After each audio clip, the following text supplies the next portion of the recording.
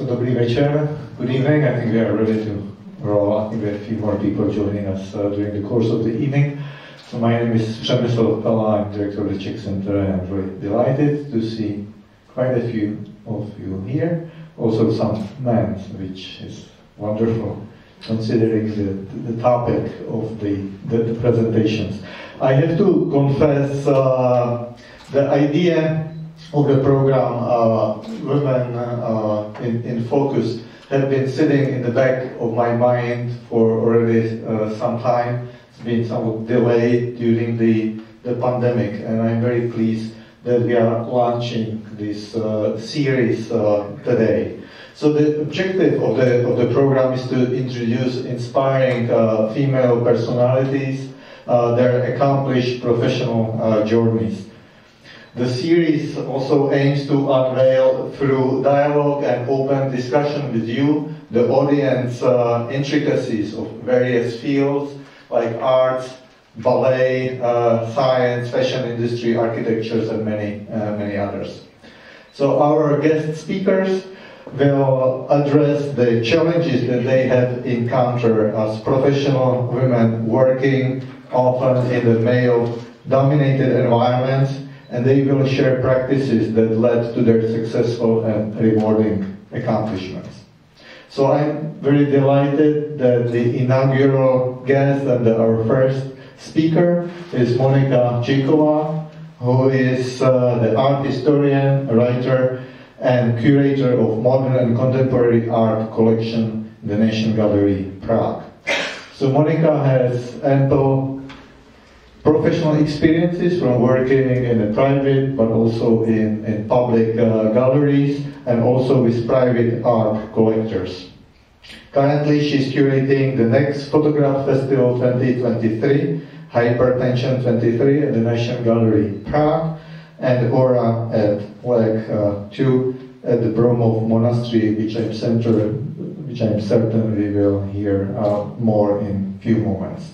So Monica graduated from Charles University, where she studied history of art. Uh, as a final piece of introduction, uh, I like to say that Monica has been recently awarded with prestigious curatorial residency at the Delfina Foundation here in London, which gives us the opportunity to invite her this evening. So without any further ado, I would like to ask Monica to join us for the presentation and then we're going to have uh, discussion and Q&A with the audience.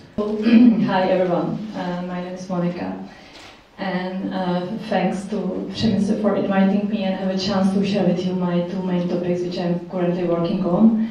And uh, it was right that uh, I will talk about hypertension and Ora et lege project which is based on my discussion with Archabbot of Benedictine Order. And it's based in Broumov Monastery, which is an amazing place in the Czech Republic. It's mostly in the middle of nowhere. It's in the eastern Bohemia, in the place with very dark history and very close to the border with Poland. So this is my show, it's Hypertension. So I was asked by Fotograf Festival to do a show about photography, but you know, I mostly am focused on paintings and I did many shows about paintings.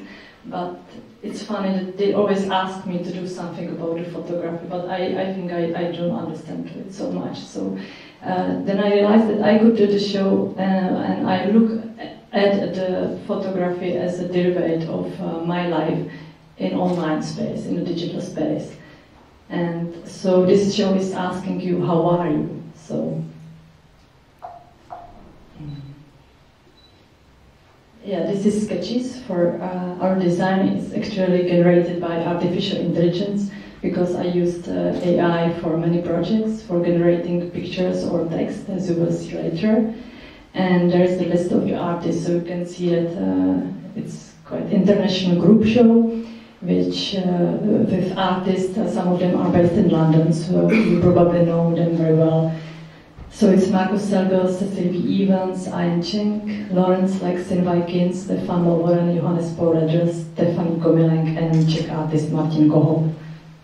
Uh, so uh, mostly uh, Fotograf Festival is divided into many, many shows and many, many projects, and it's very exhausting even for me. So I made a decision that I will do just one big group show, and then also the project in a public space.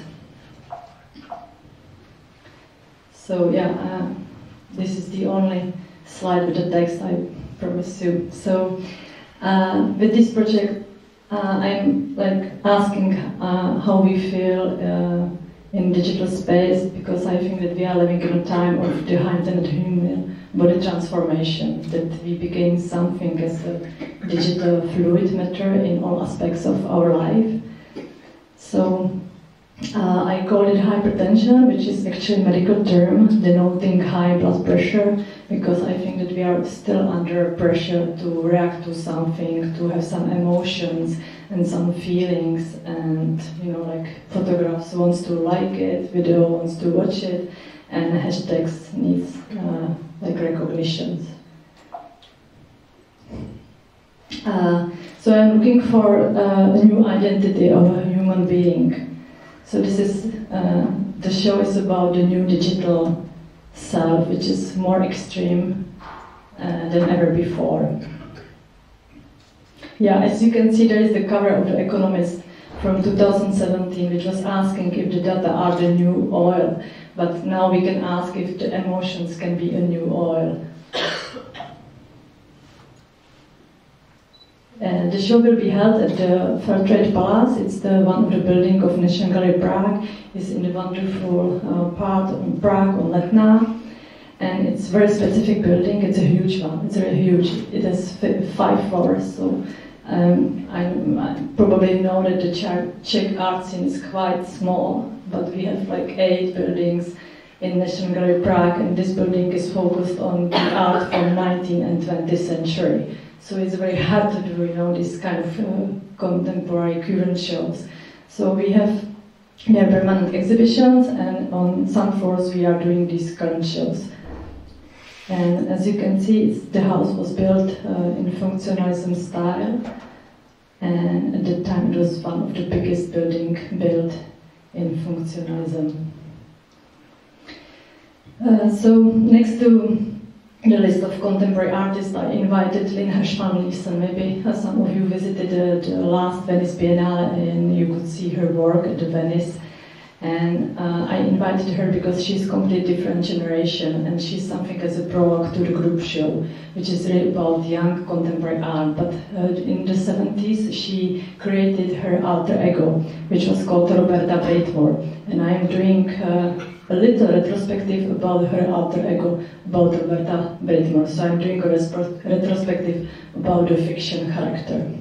So at that time, uh, between 1973 and 1978, she lived as a Roberta Breitmore. It wasn't just about some physical changes, about changing her clothes and have uh, good makeup, but she also rented a flat. She visited a psychotherapist. She had her our driver lessons, and she uh, was trying to have some social contacts. So we are doing, and yeah, this part of the show will be uh, the only part about photography. So then you will, uh, so then the show will be divided into three parts. The first one will talk about the metaverse, about the virtual space, which, which is occupied by avatars with strong emotions. So here you can see um, the shot from Cécile B. Evans' video and Markus Selger. And I, I, will not show all of the artists, but just, just to have some feelings about what the show will be. So this is uh, the shot from Martin Kohoček, artist. It's uh, the chapter about modern isolation, about intersection between new technologies and public space. Lawrence Lek. Yeah, and uh, so the for me the biggest part of the exhibition is the part talking about postgenderism and posthumanism. So in this area we will uh, present the work of uh, Sin Stefan Lovaren, Johannes Sporader, and Markus Selger. So uh, the part the third part of this uh, huge Fotograf festival will be the project with uh, Shumon Basar. Maybe you know him uh, he published a book which is called The Extreme Self with Hans Ulrich Obrist and uh, Douglas Coupland. Douglas Coupland. And um, I was quite inspired by this book because it's kind of like a graphic novel which is combining text and visual material, so you can go through and you can see this kind of uh, uh, statements such as the 20th century was about what belongs to who, the 21st century is about who belongs to what. So, and uh, we choose like several pages from this book and we will uh, show them on the windows of the National Gallery Prague. So uh, it's, in, it's, it's good to say that uh, they were also inspired by this famous Marshall McLuhan book, uh, The Medium is the Massage. So yeah, and uh, before the extreme self, they published this book, The Age of Earthquakes. So I invited Shumon Basar to work on this project. This is just sketches for visuals, and this is all images generated by AI. And we ask AI to generate um, kind of sort of images, and then we ask her again to uh, to put away some kind of elements which are doing these photos so specific. Yeah, and this studio which is working on the graphic design is called Anime Studio. It's a Czech studio. So uh, this exhibition Hypertension is based on my two little previous exhibition project. This is Fantasy Finery from 20, uh, 2020 and um, it was very little show at uh, Berlínský Model. It's one of our artist run spaces. It's quite long uh, running. Mm, I think they were founded more than 10 years ago. And they are very specific because the show happens just one evening, on a Wednesday evening, and artist is also cooking. Except of this show. This show was five days. And so I invited uh, a group of uh, artists you can see them up, uh, up Vanessa Conte, Jo Shankly, Mel Odom, and Emma Pride. So instead of exhausting curatorial text, I use these hashtags.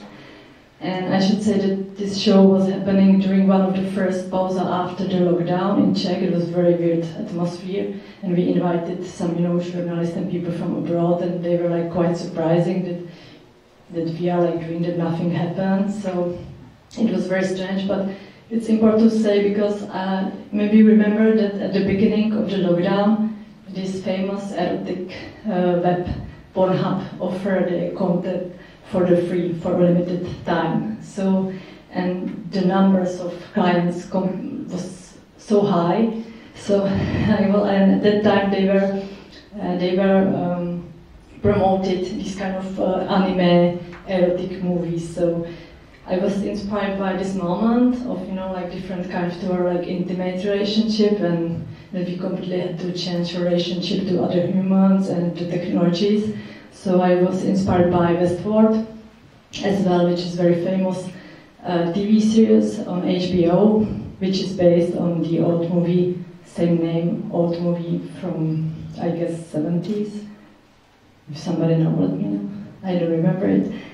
And in, in, in this uh, Westworld, uh, the visitors of an amusement of an amusement park had the strong relationships with androids. So it's like based, you know, on this kind of like strong relationships to the technologies. So I was uh, inspired by digisexuality uh, with uh, sophisticated uh, sexual technologies yeah, and you can see on the left is Vanessa Conte, and on the right is Mel Odom, which is a very interesting artist. I very often work with different kind of generation of artists, so he was completely um, older than the others. And actually, during the 70s and 80s, he was the part of American underground art scene. He was in the group of uh, people connected to Andy Warhol and he became famous for these uh, erotic uh, oriented art deco drawings. Yeah, this is Emma Pride.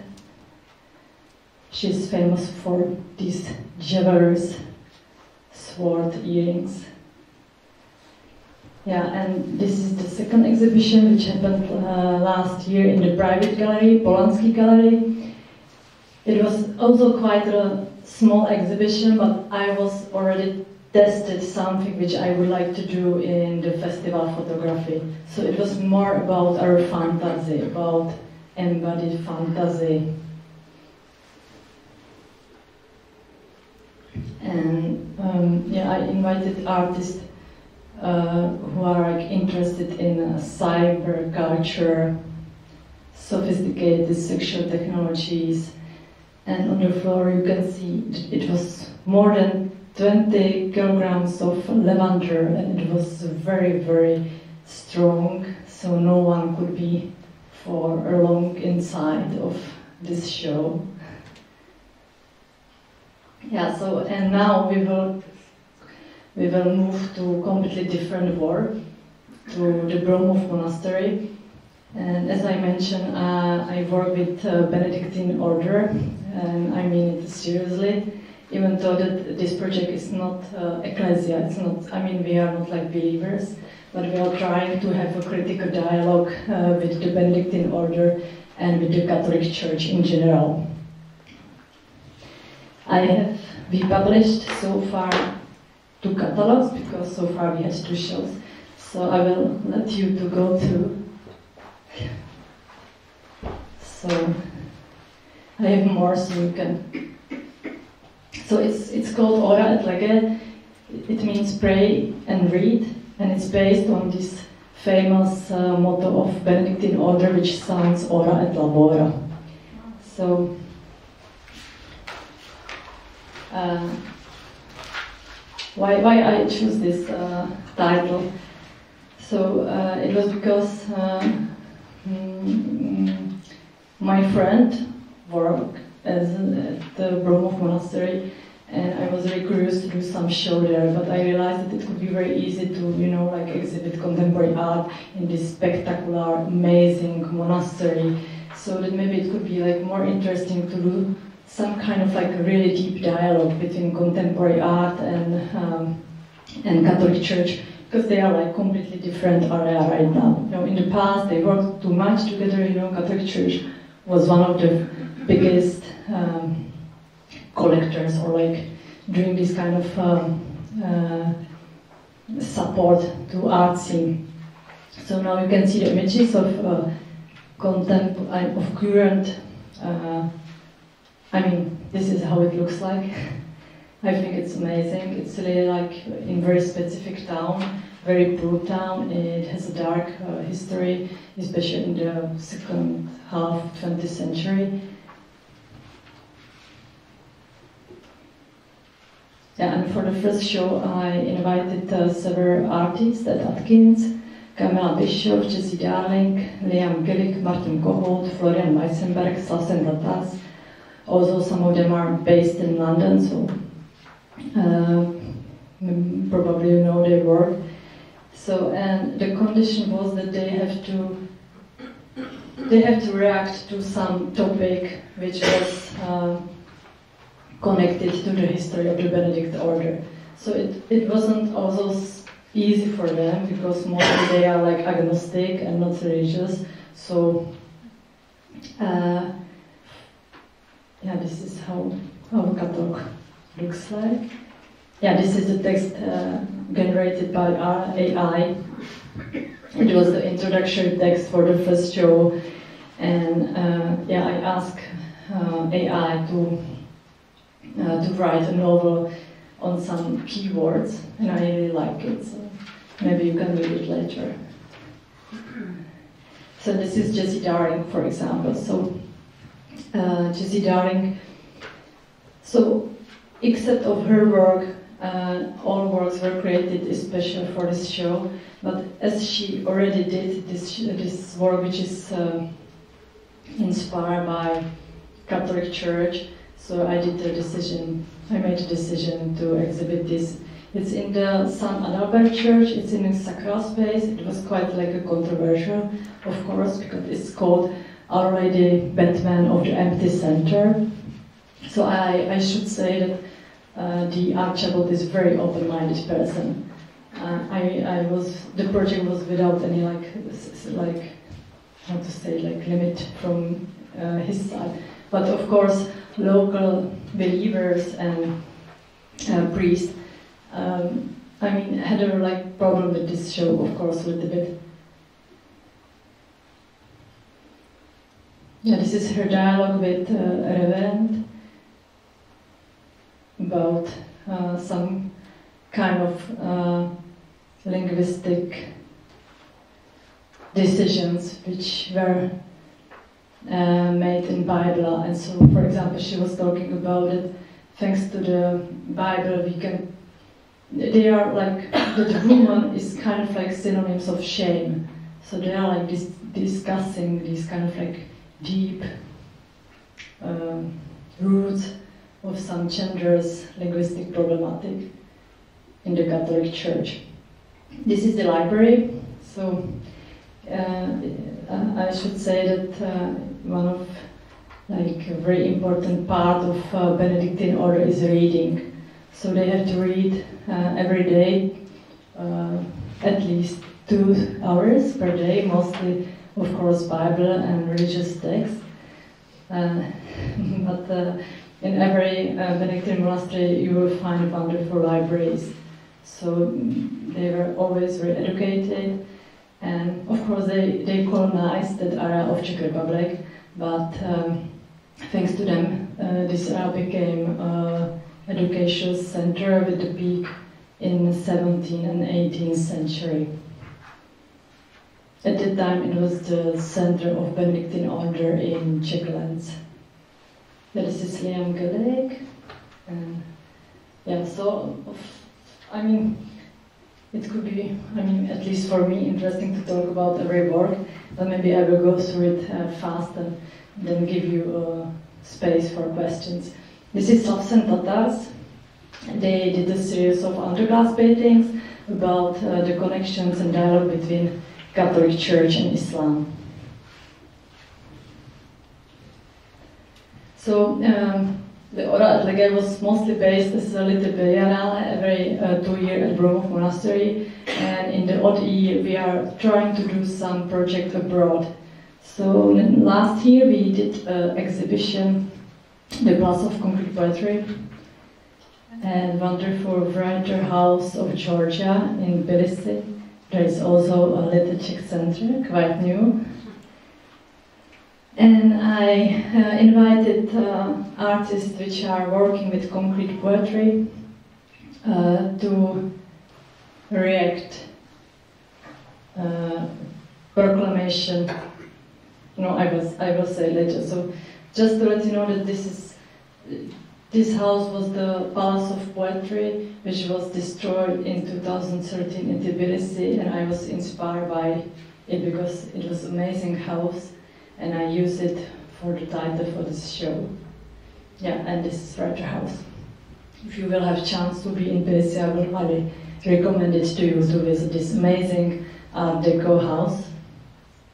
Uh, so now I have to read my notes because it will be complicated.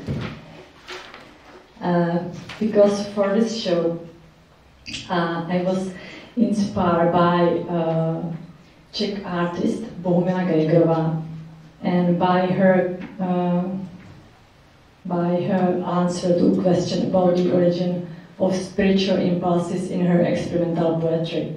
So Grögerová quoted the famous prologue of the Gospel of John, which reads, In the beginning was the Word, and the Word was with God, and the Word was God. And then she added that according to the Bible, what is not, name is not created. So, and I think it's a very strong statement. And I invited artists to react to this and to talk about uh, words such as um, uh, such as taboo, which cannot be spoken for many different reasons. And you can imagine that this show, I mean, like in the context of Georgia and strong Orthodoxy church, was quite interesting. So I invited a group of artists uh, to react to this proclamation and the existence of taboo, except of Bohumila Grögerová, of course, because uh, she passed away years ago. And this is actually uh, poetry of Bohumila Grögerová. It, it means he, she, he, she, he, and she, and, and it ended up it. So it's about uh, it's it's it's like a play with the Czech language. And I mean, it's nice to have this example in our program, which is focused on women. And you know, like concrete poetry is mostly about the men. You know, like it's it's. I mean, now we are looking at it a little bit differently, but before it was mostly something like a man movement. But there are women behind it. And Bohumila Grögerová was like amazing lady. She was in a connection with artists from West. Uh, but she worked with Josef Hiršal, and of course Josef Hiršal became like more famous. But uh, it's, it's, it's wonderful that she had a huge retrospective last year in Prague. Yeah, this is performance by Pavel Büchler, and there is Ewa Partum. So it's again like a mix of generation. This is Jan Šerých. It's saying, Diva never ever lived, and you can read it as a palindrome. Can you read it? it's complicated, I know. He had to explain me many times. So you can read it from both sides. It's a little bit like more complicated thanks to the graphic design. We can go back later. And we also published a book with uh, David Horvitz, and uh, we were using uh, 65 words in Georgia, which are about the rain and doesn't exist in English, which is yeah. And this is why I'm here in London, and what I'm currently working on. And I should thank you to the Delfina Foundation. I forgot it, but uh, this is Dom Sylvester A, um, one of the pioneers of British concrete poetry.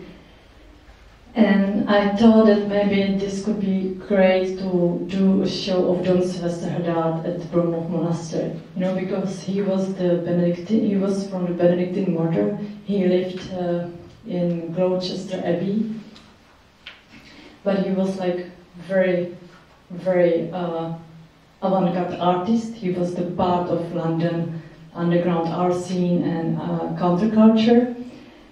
And I mean, he was in contact with John Cage and uh, Allen Ginsberg, and some of them visited Dom Sylvester Houédard at monastery. And I think it's like really amazing that he could cross these borders of art, progressive art, and this region space. So he's famous for his type tracks. Uh, there is the one of them is on a cover of this book about typewriter art from 1975 and he created those type tracks on a typewriter in blue, red, and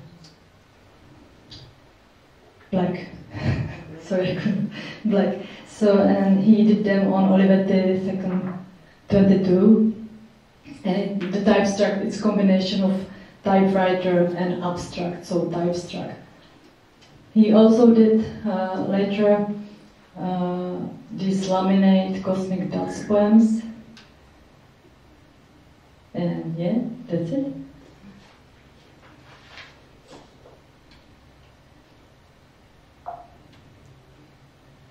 Yeah, it looks that we are in the end. So yeah, so right now I'm I'm here to watch uh, and have a chance to visit some archive of Dom Sylvester Houédard works it's, it's, it's interesting also for me because he was in the contact with Jiří Valoch, very like uh, important person in Czechoslovakia art scene. And they were like correspondencing between each other, and I could see, you know, this Jiří Valoch uh, um, emails to him and read it. I mean, it was, you know, like after 68, so it's like very strange that all of them could have quite a vivid correspondence during that bad time in Czechoslovakia. So yeah, so um, uh, we are we are organizing his uh, big solo show at the Broumov Monastery in a collaboration with Lisson Gallery, Richard Saltoun, and William Allen Ward. And the show will exhibit uh, more than 40 works from all his periods. So his typestracts, laminate poems, as well as his activities in uh, Publish House Opening Press, which was founded by Houédard and John Furnival. So thank you for your attention, and now I am looking forward to your question, if you have any of them.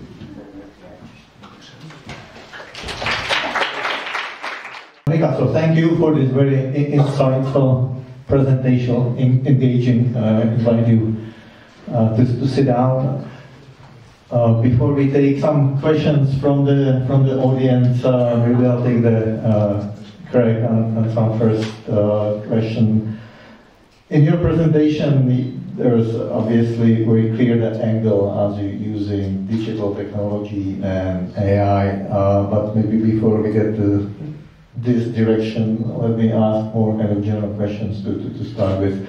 Uh, as you mentioned, uh, myself, you are here uh, currently in London uh, under Delfina residency here. And I'm just curious to hear what would be your observation, uh, being a professional art professional and curator. What do you see as the main differences among the between the, the London art scene and, uh, and of course the, the city that you're coming from, from Prague. Yeah, I mean, uh, the, of course the size. I mean, the size is huge. So um, uh, I said to Přemysl that uh, I was trying to see all the shows the first week I was here, and then I realized that I can't because the other show will open, you know, the next week, and uh, then, I will not start to do my research. So uh, I think it's like the opportunities and amount of the galleries uh, in private scene as well as in as a public space, public uh, institutions. And I mean, like, I am also fascinated that as I am working on Dom Sylvester Houédard, I, I feel very strong support from those galleries because I mean, even though that they are like private galleries, I really think that they, they really want to um, to let people know about Dom Sylvester Houédard work. Uh, so, yeah. And, and is there something what we have seen over the past I know, 10, 10 days here which might surprise you or enrich you, would like to expand on here in, in London? I mean, I, I had to admit it was my dream as a teenager to live in London. Like, really. I mean, who, who didn't have this this dream, you know? So I visited London many times as a teenager.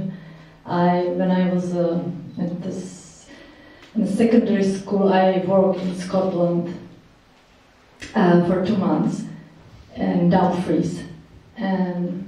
Um, you know, I really had a dream to live here. So it's it's like it's amazing to be here. You know, like not as a tourist because I visited London like many times, but now I'm here like like a like like a different kind of experience. I'm you know like I can you know how to say and, and like the Delfina, the people in Delfina are my colleagues. You know, so uh, yeah, but I don't know if it's because of COVID or something, but I think that it's that more and more people are living here, so it's a little bit too much for me. kind of wonder if the digital technology does enable uh, people to view the art uh, in the uh, comfort of their homes or wherever they are, not necessarily coming to uh, to the galleries. But maybe for a little bit more specific questions on the digital uh, digital art and the NFTs, the non-fungible uh, tokens.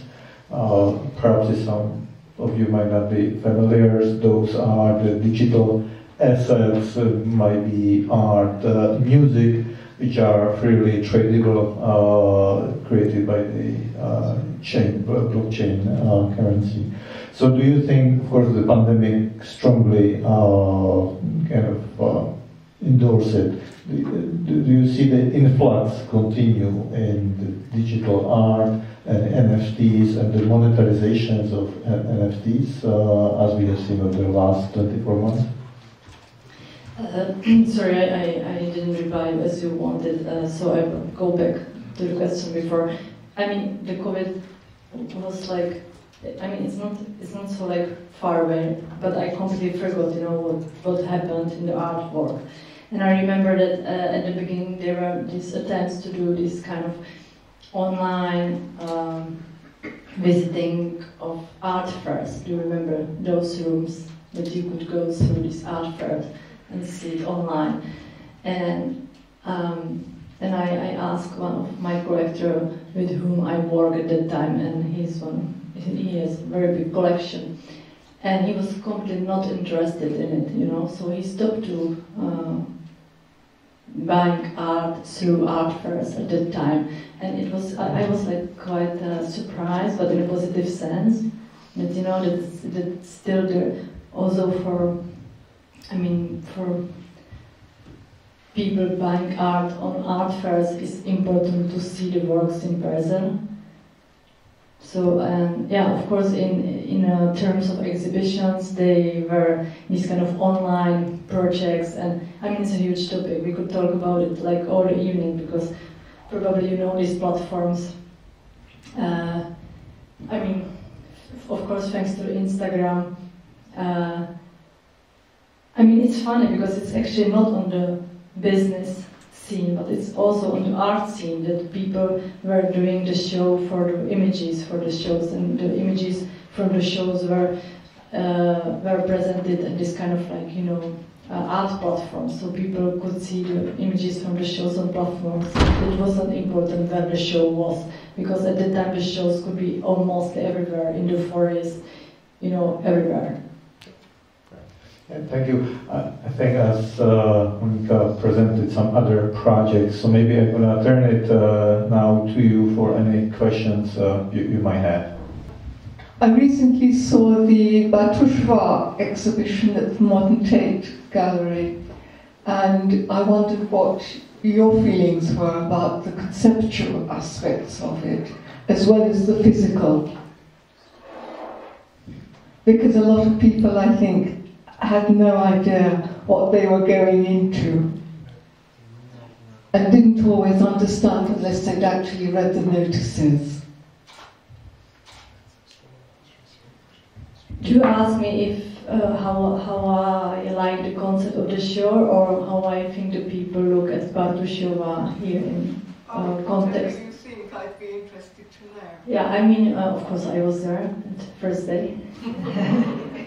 it's my first show here. Um, I mean, it's uh, it's great for us. I mean, she, she, was born in Prague and moved to Slovakia, but uh, I was, you know, like proud of it, and so I don't know if I can be objective. I mean, I must to say because I mean, I, I, I, in, I what I enjoyed the most was the uh, pictures from uh, her workshops with uh, blind children. I really, I really like it. Ahoy! Thank you so much for the thought-provoking presentation, Malika. Uh, as you have already mentioned in the presentation, emotion can be the oil. And people say recently the pandemic for the future is going to be the emotional digital one in the digital public sphere. So I am a student doing media communication, finishing my essay on immersive digital new technology exhibitions. So my two questions are about this. The first one is, as a curator, how do you arrange the usage of the new technology in your exhibitions? You know, like nowadays we're exposed to so many opportunities, the AI, VR, mixed reality. Can you share some experience and example for us? The second one is that I kind of feel the curation is the session for bridging the dialogue between audience and artist. So how the digital exhibition triggers emotion, affect, and the sense of uh, you know emotion, uh, immersion. So do you think the technology is uh, harmful sometimes for the possibility dynamic and the emotional flow between artwork and the audiences? Because for me, sometimes it's too you know direct the expressions to direct uh, the uh, VR thing, for example. So do you think it's actually a limitation for imagination and personal understanding? Thank you. Yeah, so I use the AI, you know, like uh, uh, in the hypertension just for uh, graphic design and in order like uh, I generated text with artificial intelligence. So, I mean, uh, I was thinking how if I should use AI more in hypertension, for example, also for generating text. And I think that because the show is a public institution, I think that the show could or should educate the people, you know, because it's for public, you know, it's not um, for our bubble art. And uh, so, so, I do this show uh, very traditional. And I think that that it's enough that the artists are working. I mean, uh, more than half of the works are about AI. I mean, the oldest work is Cécile B. Evans, Hyperlinks, or It Didn't Happen from 2014. And then I have works from 2000, I mean, and, that, and I mean, particularly her work looks completely like old work, you know, and it's just a few years ago, but it is, uh, sorry, it, it, uh, it says us a lot about the changes between those years.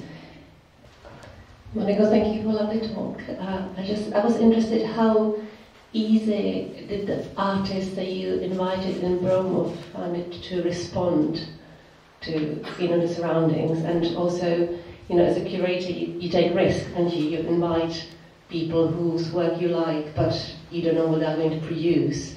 Have you ever been in a position where you felt it's you can't exhibit something, or you know, has it always gone according to your plan?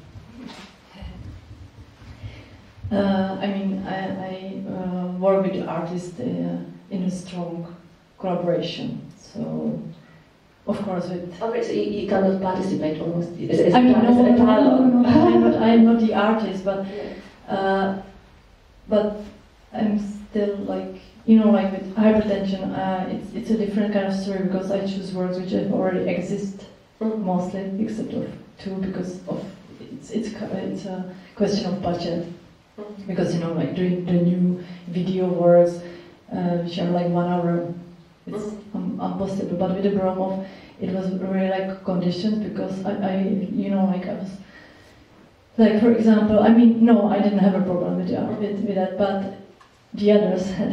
I mean, like, yeah, you, you, said so, so I just wondered whether ever it, you know, happens as a surprise yeah, to you. No, but I, I am, I, I think uh, this will happen with the hypertension show at National Gallery Prague. I'm sure with that. It's probably exciting part of your job. I mean, like at, at the Broumov, there is one more story that. Uh, I mean, uh, with Ed Atkins, he cut to this old bench at the Broumov Monastery one sentence, you know, so it was a little bit controversial that we, you know, like this, destroy this cultural heritage a bit. But still, I think that it's amazing to have this uh, permanent site-specific installation by Ed Atkins in Broumov. You know that you know now we are going to you know some church in mountains to see to see some paintings, glass paintings of modernists. So I'm naive and I hope that people will travel to the Broumov from abroad to see this uh, cutted sentence in bench by Atkins. So it's wonderful. Thing. yeah, but you can image the reaction. So thanks. Maybe I'm gonna take the liberty as you uh, for the last two questions. Uh, as you coming from uh, from the National Gallery, you can tell us uh, what are the exhibitions maybe now or the upcoming exhibitions. Uh, I know when people be doing some plans going to uh, to Prague. So that would be my uh, first question.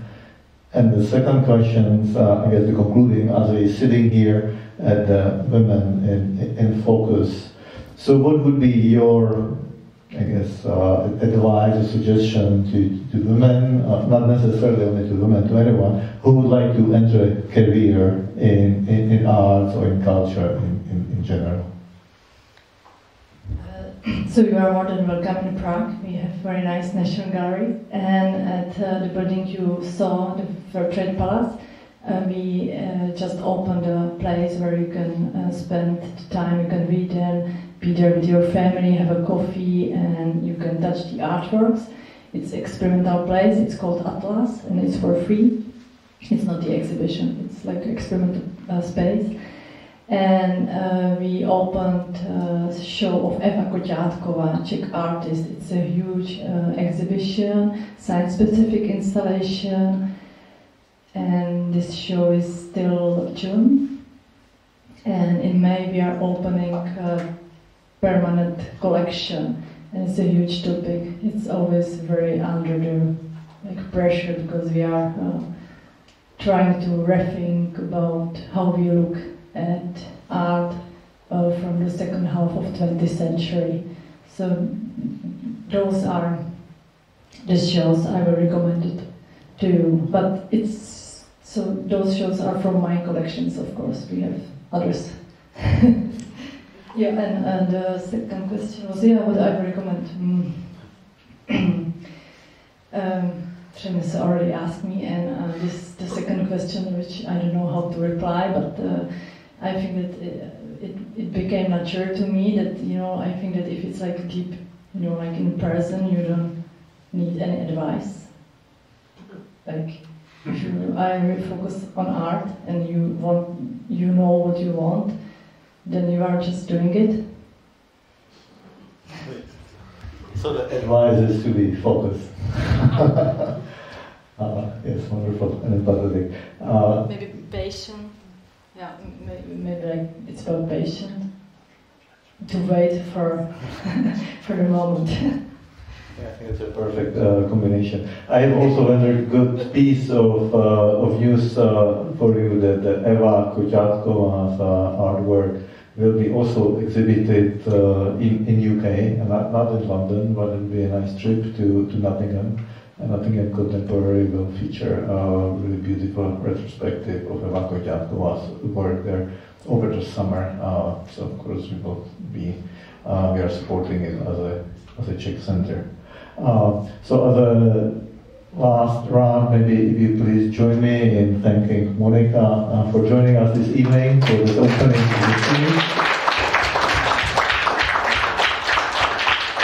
And at the same time, I'd like to, of course, invite you to receive, take please the, the, the leaflet. So we're going to continue in the series, and the, the next one will be the, by the end of April with the prima ballerina Daria Klimentová. I think it's also a very promising uh, evening they will have. And of course, we can continue the discussion here uh, informally in the next door with Monika. So, and thank you for coming.